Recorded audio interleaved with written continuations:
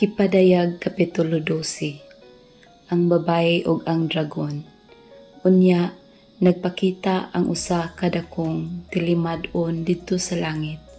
Usa ka babae nga nagbistig adlaw ug nagtunob sa bulan ug gikoronahan siyag 12 ka bituon.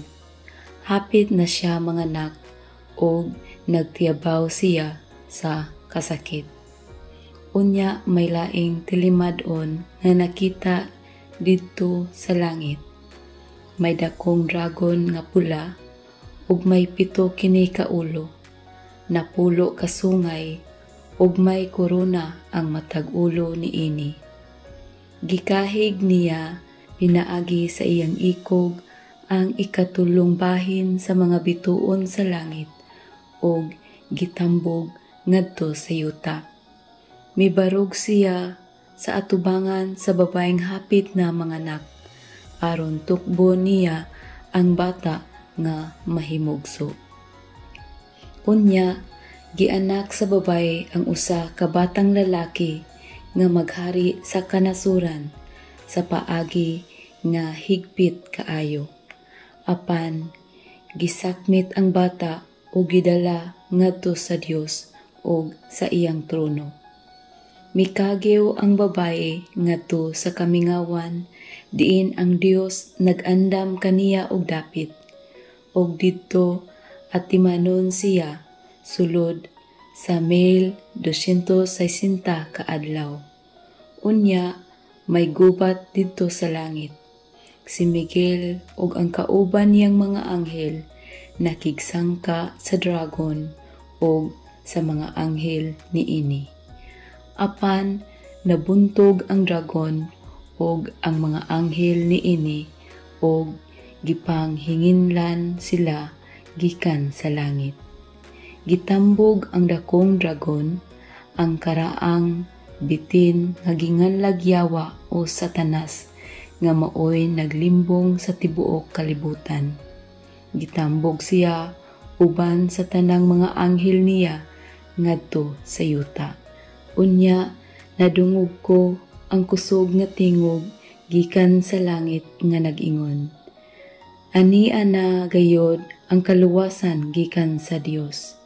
Gipadayag na gayod sa Dios ang iyang gahom ingon nga hari o gipakita na sa Mesiyas ang iyang autoridad kay ang tigsumbong nga nagbarog sa atubangan sa Dios o nagsumbong sa atong kaigsuonan adlaw o gabi gihinginla na gikan sa langit.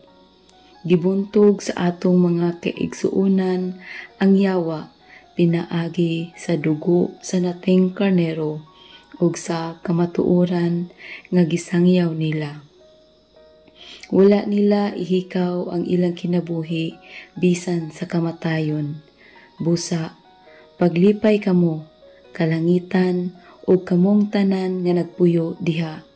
Apan, alaot ang yuta ug ang dagat. Kay mikunsad kaninyo ang yawa nga suko kaayo kay nasayod man siya nga mubo na lang ang iyang panahon sa pagkamatngon na sa dragon nga gitambog na siya ngadto sa yuta. Giyukod niya ang babae nga nanganak og batang lalaki.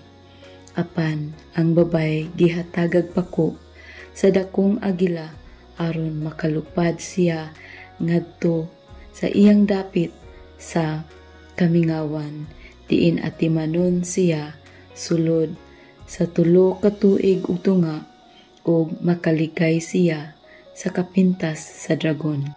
Unya, mibugwak ang dragon og tubig nga daw suba aron ibanlas ang babae sa bulog ni ini. Apan ang yuta mitabang sa babae. Giabli ang baba ni ini o gisuyop ang tubig nga gibuga sa dragon. Napungot pag-ayo ang dragon ug nakig-away siya sa tanang kaliwat sa babay ug sa tanan nga nagtuman sa mga sugo sa Dios ug nagmatinumanon sa kamatuoran nga gipadayag ni Jesus ug ang dragon nagtindog sa baybayon.